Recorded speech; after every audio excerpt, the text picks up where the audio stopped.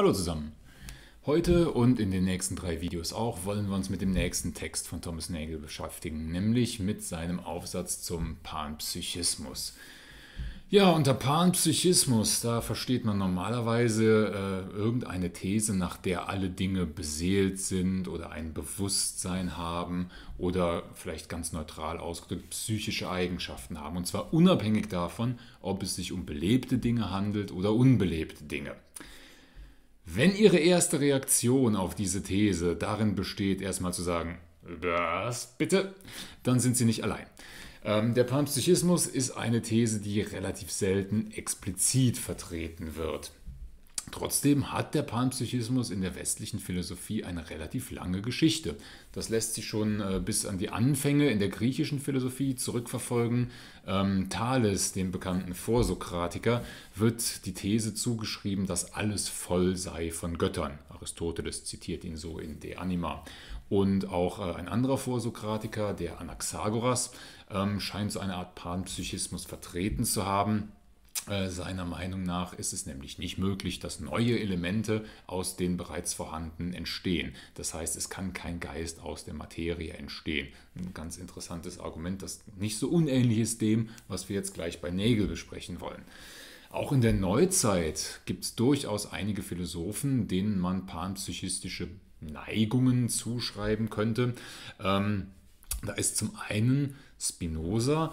Spinoza hat ja, wie Sie vielleicht wissen, diese Theorie, dass es nur eine einzige Substanz gibt, die entweder Gott oder Natur genannt werden kann, das berühmte Deus sive natura. Ähm, und diese eine neutrale Substanz hat sowohl mentale oder psychische als auch physische Aspekte.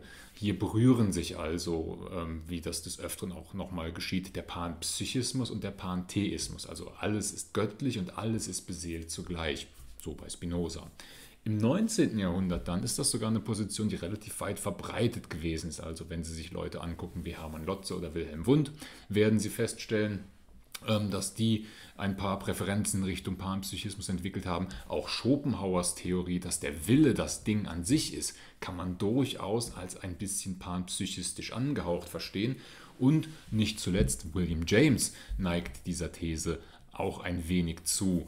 Ähm, ja, seit dem Ende des 20. Jahrhunderts wird dann tatsächlich über den Panpsychismus in der Philosophie des Geistes durchaus vermehrt diskutiert. Äh, nicht zuletzt auch wegen ja, Nagels Aufsatz, den wir uns hier anschauen wollen.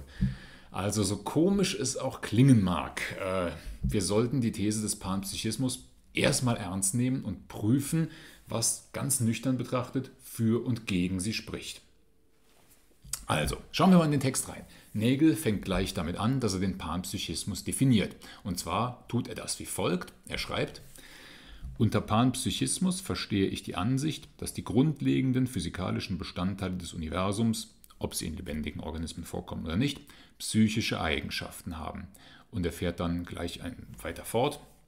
Diese Ansicht folgt offenbar aus wenigen simplen Prämissen, von denen eine jede plausibler ist als ihre Negation, wiewohl vielleicht nicht plausibler als die Negation des Panpsychismus selbst. Also was Nagel hier unter Panpsychismus verstehen möchte, ist erstmal nur eine relativ schwache Form von Panpsychismus. Alle Materie, materiellen Dinge, sagt er, sollen eine Form von psychischen Eigenschaften haben. Damit ist nicht gemeint, dass sie ein Bewusstsein oder Subjektivität besitzen, das wäre eine deutlich stärkere Form von Panpsychismus, sondern einfach nur irgendwelche psychischen Eigenschaften. Was genau das heißen soll, da müssen wir gleich noch drüber reden. Ähm, und methodisch gesehen baut er seinen Aufsatz so auf, das sagt er auch jetzt hier gleich am Anfang, dass er meint, aus vier Prämissen, wenn man die akzeptiert, folgt eigentlich mit Notwendigkeit der Panpsychismus. Jede dieser Prämissen ist für sich betrachtet prinzipiell glaubwürdig. Das heißt, es spricht mehr für diese Prämisse, als dafür, dass sie falsch ist. Ähm, das bedeutet, wenn man jede dieser vier Prämissen unterschreiben kann, die ich Ihnen gleich noch nennen werde. Also wenn man jede dieser vier Prämissen akzeptieren kann und Nagel meint, es gibt gute Gründe, genau das zu tun, dann bleibt uns eigentlich gar nichts anderes übrig, als auch den Panpsychismus zu akzeptieren. Gut, was sind nun also diese vier Prämissen, von denen Nagel redet? Prämisse Nummer eins, das läuft unter dem Namen materielle Zusammensetzung. Damit ist ganz einfach gemeint, alle Wesen bestehen aus Materie. Also alles, was existiert, alles, was es gibt, ist Materie. Alle Wesen sind komplexe Systeme von Materieteilchen, die in einer bestimmten Art und Weise arrangiert sind ähm, und die sich permanent nach bestimmten Mustern verändern. Also unser Körper oder auch die Körper der Tiere oder auch Pflanzen oder was weiß ich, was es noch alles geben mag auf dieser Welt, sind nur komplexe Ansammlungen und organisierte Veränderungsmuster von Materie. Es gibt dabei keinen Unterschied zwischen der belebten und der unbelebten Materie. Alles besteht aus der gleichen Materie. Es gibt nicht zwei Sorten von Materie oder sowas, sondern es gibt nur die eine Materie, manchmal belebt, manchmal unbelebt. Nägel formuliert das ganz schön, äh, wenn er da sagt, wir bestehen alle aus Materie, die eine großenteils unbeseelte Geschichte hinter sich hatte, bevor sie ihren Weg auf unsere Teller fand. Nagel meint dann auch, Materie sei ursprünglich Bestandteil der Sonne gewesen, äh, was nicht so ganz richtig ist physikalisch betrachtet. Also genau genommen stammt alle Materie, die es im Sonnensystem gibt, aus der sogenannten Urwolke, also eine große Ansammlung von ähm, Wasserstoff, Helium und interstellarem Staub, der äh, ja einerseits im Urknall entstanden ist und andererseits aus den Resten einer früheren Generation von Sternen bestanden hat, die bereits untergegangen ist. Und aus deren Überresten haben sich dann neue Sterne, unter anderem unser Sonnensystem, gebildet. Also wenn Ihnen irgendjemand äh, mal sagen sollte, dass wir alle in Wirklichkeit Sternenstaub sind, so poetisch das klingen mag, das ist tatsächlich korrekt. Alle Materie, die es gibt, sind nur Überreste äh, früher bereits existierender Sterne. Sie und ich und alles, äh, was um sie herum existiert, besteht aus den Abfallprodukten früherer Generationen von Sternen. Gut, es ist also immer dieselbe Materie. Das ganze Universum ist nichts anderes als eine riesige Umwälzungsmaschine, die die immer gleichen Materiepartikel neu zusammenwürfelt und arrangiert. Prinzipiell gilt das für alles. Also, mein Körper besteht aus Materie. Wo kommt diese Materie her? Naja, äh, ich muss halt irgendwas essen, ich muss atmen und so weiter und so fort. Ähm, das heißt, ich nehme irgendwelche Materiepartikel dem, aus dem Universum zu mir und verarbeite die in meinem Körper zu einem anderen Materiepartikel, den ich meinen Körper nenne. Wir brauchen an keiner Stelle irgendwelche anderen Sachen als Materie. Also irgendwo äh, steht eine Kuh auf der grünen Wiese und diese Kuh frisst das Gras auf der Wiese. Woher kommt das Gras? Naja, aus Sonnenlicht und den ähm, äh, Mineralstoffen im Boden und im Wasser und so weiter. Ähm, die werden irgendwann zu Gras. Die Kuh macht aus diesem Gras unter anderem Milch. Diese Milch kann ich trinken. Aus dieser Milch wird mein Körper als ein geschlossener Kreislauf von Materie. An keiner Stelle kommt irgendwas anderes in diesen Kreislauf rein. An keiner Stelle muss ich irgendeine geheime Zutat hinzufügen oder so etwas. Alles ist nur Materie. Die zweite Prämisse, von der Nägel ausgeht, das ist die, Redu äh, die Negation des Reduktionismus. Äh, das ist ein Thema, das Sie inzwischen ganz gut kennen sollten, insbesondere aus dem Fledermausaufsatz. Es ist ganz einfach die Idee, die wir schon des Öfteren hatten, dass psychische Eigenschaften nicht reduzierbar sind auf physische Eigenschaften und auch nicht damit identisch. Nur ganz kurz zur Erinnerung, Sie können ja nochmal im Fledermausaufsatz nachschlagen, wenn Sie es genauer wissen wollen.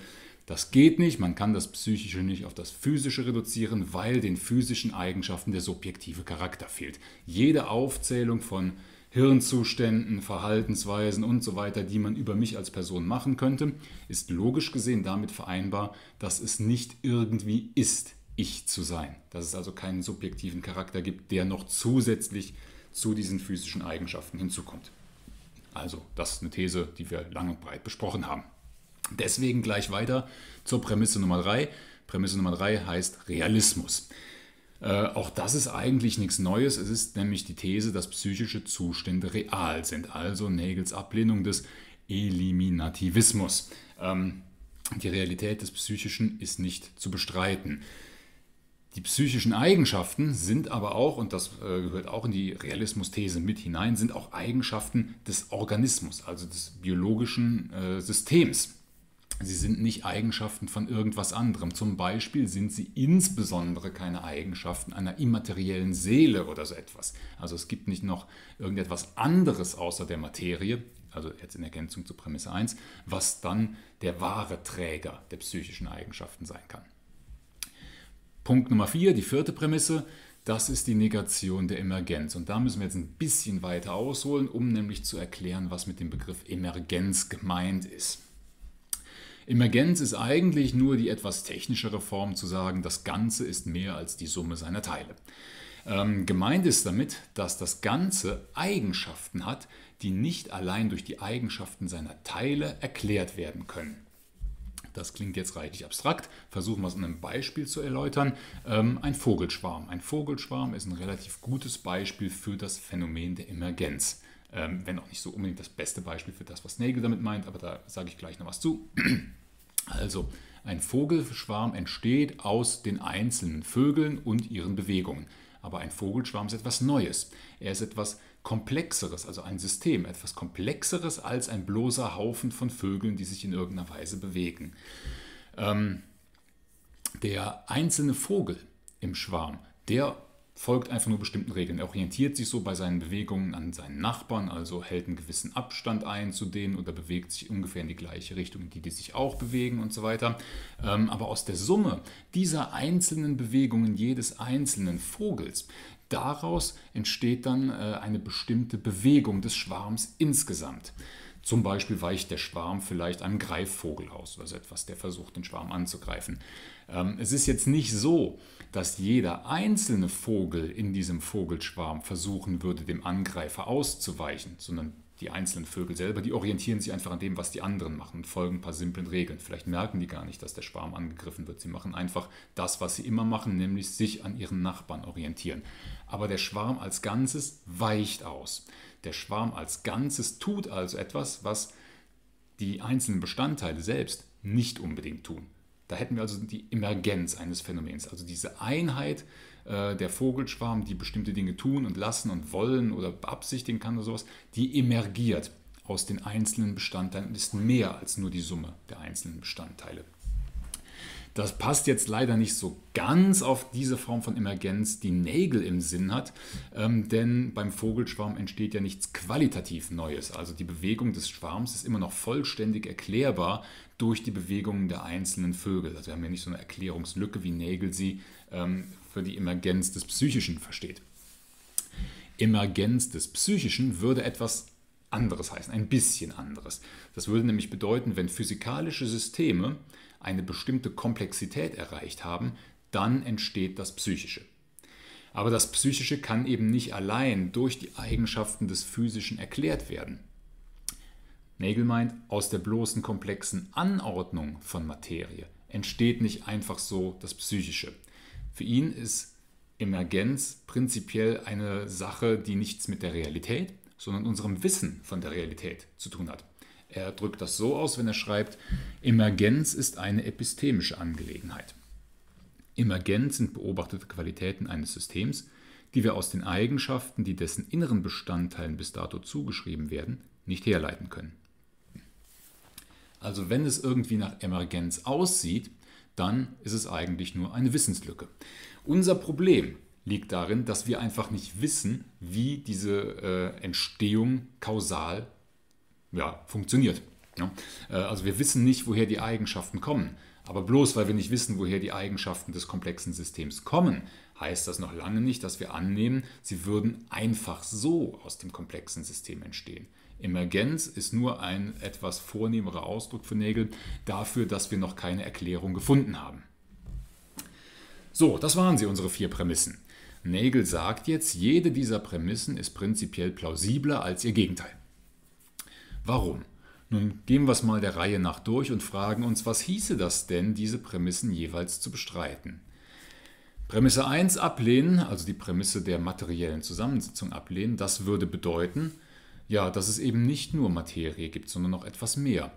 Was sollte dieses etwas mehr sein? Naja, es könnte eine immaterielle Seele geben oder so etwas oder vielleicht so eine Art Lebenskraft, die dafür sorgt, dass Materie belebt wird, also eine bestimmte Eigenschaft die belebte Materie von unbelebter Materie unterscheidet. Das war bis ins 19. Jahrhundert hinein eine durchaus nicht selten vertretene Theorie, dass es so etwas wie einen speziellen Lebensodem gibt oder so etwas, oder dass es eine spezielle Art von Materie gibt, ähm, die nur belebten Dingen zukommt und nicht den unbelebten. Aber äh, im Angesicht der zeitgenössischen Naturwissenschaften, auch im Angesicht der zeitgenössischen Philosophie sind das beides Thesen, die man eigentlich nicht sinnvoll vertreten kann. Eine immaterielle Seele ist an sich schon irgendwie begrifflich schwer zu denken. Was soll das sein? Wie soll das funktionieren? Woran soll man erkennen, dass es sowas gibt? Und eine Lebenskraft, ähm, die Materie zu belebter Materie macht, das ist relativ unverständlich. Also woher kommt denn bitte schön diese Lebenskraft? Oder wie wird aus unbelebter Materie plötzlich belebte Materie? Das ist alles überhaupt nicht klar, wie das funktionieren könnte. Also die Ablehnung dieser These 1 ist ziemlich unplausibel. Wie sieht es aus mit der zweiten Prämisse, also die kein Reduktionismus-Prämisse? Wenn wir das ablehnen würden, dann würde es bedeuten, dass Bewusstsein eben doch irgendwie aus Materie hervorgeht. In der Gegenwart ist das tatsächlich eigentlich die Standardposition in der Philosophie des Geistes. Und die meisten in diesem Feld gehen davon aus, dass diese Prämisse tatsächlich nicht verkehrt ist, dass ein Reduktionismus sehr wohl möglich ist. Aber Sie wissen auch, äh, Nagel sieht das anders. Für Nagel ist der Reduktionismus unplausibel und führt nicht zum Ziel, siehe den Fledermausaufsatz. Was wäre, wenn wir Prämisse Nummer 3, den Realismus, ablehnen? Dann würde das darauf hinauslaufen, zu behaupten, dass es kein Bewusstsein gibt. Aber dass das Bewusstsein real ist, das steht ja vollkommen außer Frage. Wir selbst erleben es. Jetzt gerade in diesem Moment können Sie sich davon überzeugen, dass psychische Zustände real sind, weil Sie selbst nämlich gerade psychische Zustände haben. Was könnte äh, klarer sein? Also Prämisse 3 abzulehnen, relativ unplausibel. Bleibt noch die Prämisse 4, die Emergenz. Was wäre, wenn wir sagen, naja, es gibt eben doch Emergenz? Emergenz würde, so wie Nagel das beschreibt, im Prinzip bedeuten, dass es keine Erklärung gibt. Das heißt, Dinge könnten ohne eine hinreichende physikalische Ursache entstehen. Aber das ist eine ziemlich komische Sache, denn ähm, wenn Dinge ohne irgendeine physikalisch erklärbare Ursache entstehen, dann nennt man das in anderen Kontexten zum Beispiel ein Wunder. Aber wenn Sie anfangen, an sowas zu glauben und sowas in Ihr Weltbild zu integrieren, dann geht die ganze Verlässlichkeit ihres wissenschaftlichen und naturalistischen Weltbilds flöten. Also sie müssten auf einmal äh, eine ganze Reihe von Sachen prinzipiell zulassen, die sie nicht drin haben wollen. Also auch die Ablehnung der Prämisse 4 ist nicht unbedingt nachvollziehbar. Das heißt jetzt aber, wenn wir diese Prämissen alle vier einzeln und für sich betrachtet akzeptieren können, müssen wir uns eigentlich auch auf den Panpsychismus verpflichten. Denn dieser Panpsychismus folgt aus den vier Prämissen. Das Psychische existiert. Das ist ganz klar, das ergibt sich aus der dritten Prämisse. Aber wenn es existiert, es muss ja auch irgendwoher stammen. Nur woher? Es kann nicht aus der Materie stammen. Das ergibt sich aus Prämisse Nummer 2, kein Reduktionismus. Es kann aber auch nichts Immaterielles sein. Das ergibt sich aus Prämisse 1. Und es emergiert nicht aus irgendwas dazwischen. Das ergibt sich aus Prämisse 4. Also der einzig mögliche Schluss lautet, es muss Materie, äh, die Materie muss bereits in sich psychische Eigenschaften haben. Denn dann, wenn ich sage, die Materie hat einfach in sich bereits psychische Eigenschaften, dann muss ich die Entstehung des Psychischen gar nicht mehr erklären. Es ist einfach da, das Psychische. Es ist eine irre eine irreduzible, fundamentale Eigenschaft aller Dinge, die existieren, so wie zum Beispiel Masse oder so etwas. Also alles Materielle, was existiert, hat eine bestimmte Masse und das ist einfach eine Eigenschaft, die Dinge haben, die ihnen qua Dinge zukommt. Und genauso müsste man dann mit dem Panpsychismus sagen, ja, alle Dinge haben, genauso wie sie Masse haben, auch psychische Eigenschaften, die nicht abgeleitet sind aus was anderem, sondern die, ein, die ihnen einfach so zukommen, weil sie eben Dinge sind. Nagel sagt jetzt allerdings, es gibt mindestens mal drei Probleme mit dieser These. Und diese drei Probleme, das sind die, die wir uns dann heute und in den nächsten beiden Wochen intensiver anschauen müssen. Problem Nummer eins lautet, was heißt denn hier eigentlich psychisch? Also was sollen diese psychischen Eigenschaften, die auch unbelebter Materie zukommen, eigentlich sein? Problem Nummer zwei, Wieso gibt es denn keine Emergenz? Und was hat das mit Kausalität zu tun? Also irgendwo scheint da ein gewisses Verständnis von Kausalität im Hintergrund zu stecken, wenn man die Emergenz ablehnt. Und das muss bitte geklärt werden, was das ist und warum es deshalb keine Emergenz gibt.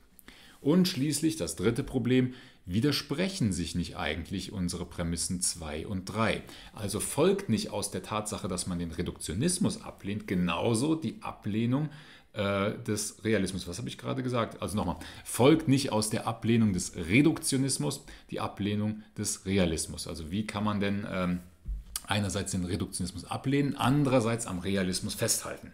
Das ist das Problem.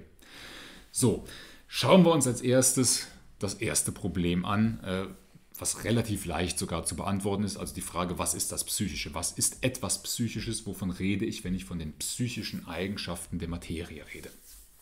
Nägel meint, das können wir uns ganz einfach analog dazu vorstellen, wie wir auch etwas als äh, physikalisch oder physisch anerkennen würden. Er schreibt, Neue Eigenschaften werden dann zu den physikalischen gerechnet, wenn man dadurch auf sie stößt, dass Erklärungen, die sich bereits auf zu dieser Klasse zählende Qualitäten beziehen, auf sie schließen lassen. Also das Bild, das er hier entwirft, ist ungefähr folgendes. Wir fangen mit bestimmten simplen, intuitiven Begriffen des Physischen an, also äh, wie zum Beispiel Material, Gewicht und so weiter, und gehen dann über zu immer komplexeren Begriffen wie Masse, elektrische Ladung. Ähm, und das Wichtige ist, dass es bei diesem Übergang von dem einen Begriff zum anderen, dass es da Erklärungsbeziehungen zwischen den Begriffen gibt. Also Gewicht kann ich beispielsweise erklären durch Masse und Gravitation. Und so kann ich Schritt für Schritt ähm, mein physikalisches Vokabular immer weiter erweitern. Also beispielsweise schauen Sie sich hier meine Kaffeetasse an. Ich kann sagen, die Kaffeetasse hat ein bestimmtes Gewicht. Die wiegt, was weiß ich, 250 Gramm oder so etwas. Und dann habe ich diesen physikalischen Begriff des Gewichtes. Und wie kann ich jetzt erklären, was Gewicht ist? Naja, ich kann sagen, die Tasse hat eine bestimmte Masse. Ähm, diese Masse wird, wenn sie ins Gravitationsfeld der Erde kommt, mit einer bestimmten Kraft auf den Erdmittelpunkt hingezogen und diese Kraft bewirkt dann eine bestimmte Gewichtsempfindung oder so etwas. Und dann kann ich erklären, was das Gewicht ist, indem ich neue physikalische Begriffe hinzufüge, nämlich Masse, Gravitation, Kraft und so weiter und so fort. Und prinzipiell können Sie das mit allen anderen physikalischen Begriffen genauso machen. Es gibt diese ununterbrochene Kette äh, der immer weiteren Erklärbarkeit. Genau das Gleiche funktioniert mit dem Psychischen. Ähm, wir fangen bei irgendwelchen ganz alltäglichen psychischen Phänomenen an und gehen dann in unseren Erklärungsketten weiter. Also zum Beispiel, äh, Sie äh, sehen, dass irgendjemand äh, in Lachen ausbricht und fragen sich dann, woher kommt das? Und dann erklären Sie sich das dadurch, aha, der hat gesehen, wie da gerade jemand gegen einen Laternenpfahl gelaufen ist und deswegen empfindet diese Person jetzt Schadenfreude. Also wir haben ein bestimmtes Verhalten. Dieses Verhalten wird erklärt durch bestimmte Wahrnehmungen und bestimmte Empfindungen. Das heißt, wir kommen auch hier von einem Begriff, der einen psychischen Gehalt hat, zum nächsten Begriff, der einen psychischen Gehalt hat. Und solange wir uns innerhalb dieser Kette bewegen, solange ja, sind wir im Bereich des Psychischen. Solange haben wir es mit psychischen Eigenschaften zu tun. Das Wichtige an der Stelle, das ist jetzt, dass diese Erklärungsketten, die physikalische und die psychische, parallel verlaufen. Das heißt, sie schneiden sich nicht. Keine Erklärung psychischer Fakten kommt irgendwann bei den physikalischen Fakten raus. Also keine physikalische Erklärung, das wäre jetzt die umgekehrte Variante, enthält dann etwas Psychisches. Äh, Nägel gibt ein ganz äh, instruktives Beispiel, wie ich finde, wenn er da schreibt, wer von der Trockenheit auf den Zorn des Regengottes schließt, stützt seine Hypothese nicht allein auf physikalische Indizien, sondern gibt eine psychologische Interpretation nach dem vertrauten Muster menschlicher Motivation. Kein solcher Schluss, ob vernünftig oder nicht, gehört jemals zur Physik. Also in dem Moment, wo wir Absichten, Empfindungen, Gefühle und so weiter einbringen in unsere Erklärungskette, da haben wir die Ebene des rein physischen verlassen. Da betreiben wir keine Naturwissenschaft in dem Sinne mehr. Oder könnte es nicht vielleicht doch anders sein? Kann es nicht sein, dass diese beiden Ketten sich doch irgendwann schneiden, selbst wenn man den, äh, den Reduktionismus ablehnt? Ähm, könnte es nicht so etwas geben wie etwas Drittes, auf das beide am Ende hinauslaufen, also etwas, das weder physisch noch psychisch ist? Das wäre äh, dann ein neutraler Monismus, von dem wir ganz am Anfang äh, auch mal gehört haben, als es um das Leib-Seele-Problem ging. Ähm, der würde behaupten, es gibt eine Substanz, die weder psychisch noch physisch ist, aber die beide Eigenschaften hat. Also sowohl das physische als auch das psychische sind Eigenschaften oder Aspekte der einen neutralen Substanz. Aber, meint Nägel, selbst dann könnte man diese Grundsubstanz, was auch immer das dann sein mag, weder physisch noch psychisch nennen. Also sie hat sie ist selbst weder physisch noch psychisch, sondern sie hat nur diese beiden Eigenschaften. Das wäre immer noch nicht das, was äh, die Naturalisten gerne hätten. Also es wäre immer noch nicht so, dass das Psychische aus dem Physischen erklärt werden könnte. Im Gegenteil, wir würden sagen, Das Physische und das Psychische werden aus etwas anderem, etwas Drittem erklärt. Und äh, ja, mit nicht ganz äh, wenig Recht könnte man sowas immer noch in gewisser Weise eine Form des Panpsychismus nennen. Also, Antwort auf die erste Herausforderung, was heißt psychisch? Naja, psychisch ist das, was in die Erklärung anderer psychischer Begriffe eingebettet ist. Psychisch muss in diesem Sinne nicht auch bewusst heißen. Das ist eine wichtige Unterscheidung. Also auch unbewusste Wünsche oder Ängste sind psychische Eigenschaften, weil wir diese Eigenschaften, diese unbewussten psychischen Eigenschaften brauchen, um andere psychische Eigenschaften zu erklären. Also äh, wenn zum Beispiel jemand einen Waschzwang hat oder so etwas und ständig den Wunsch verspürt, sich die Hände zu waschen, dann ist das eine psychische Eigenschaft dieser Person. Ähm, und das könnten wir vielleicht erklären, indem wir der Person ein unbewusstes Bedürfnis nach Sicherheit und Kontrolle oder so etwas zuschreiben. Also auch unbewusste psychische Eigenschaften sind psychisch, selbst wenn sie nicht bewusst sind. Aber sie stehen in einer Erklärungsverbindung mit anderen bewussten psychischen Eigenschaften. Das ist also nun erstmal die Klärung des entscheidenden Begriffs, nämlich des Begriffs des Psychischen, was wir bisher geleistet haben. Aber wie sieht es denn jetzt mit der Verteidigung der beiden anderen oder der anderen Prämissen aus? Darüber müssen wir uns dann beim nächsten Mal unterhalten.